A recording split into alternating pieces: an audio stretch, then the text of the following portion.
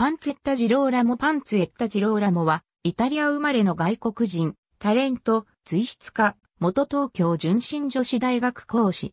ホリプロ所属。身長176センチメートル。ニックネームは、ジローさん。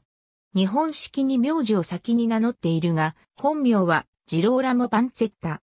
1962年9月6日に、イタリアカンパニア州ビルダノーバ・デルバッティスタに生まれ、16歳まで地元の強豪サッカークラブ SSC ナポリに席を置いていた。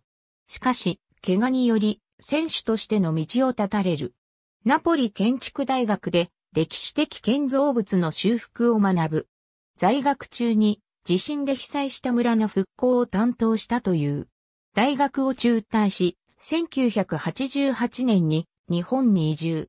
この時、谷沢菊子と知り合い結婚。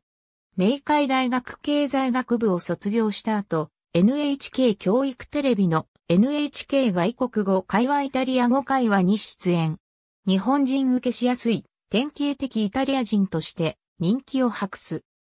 ホリプロはクールさをアピールするため女性誌のモデルやインタビューの仕事をよく引き受ける戦略をとり、それが効果的でシックジャパンの CM に起用されたのが転機となり、森田和義アワー笑っていいとも、の、いいともちょい不良親父コンテストのコーナーに出演して、一気に知名度が向上した。